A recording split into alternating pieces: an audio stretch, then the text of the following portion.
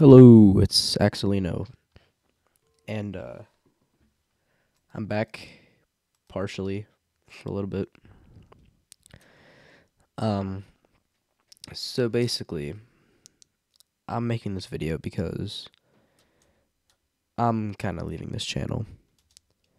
This channel hasn't really been working out for me and uh to be honest I'm just making a new channel. Sorry for sounding a bit sick, by the way, but this channel hasn't really been working out. I haven't really had any ideas. Concepts got a little bit old. And yeah. I'm making a new channel, which will hopefully be better than this one. This channel will actually have like edited videos and better quality videos maybe every once in a while face cam videos.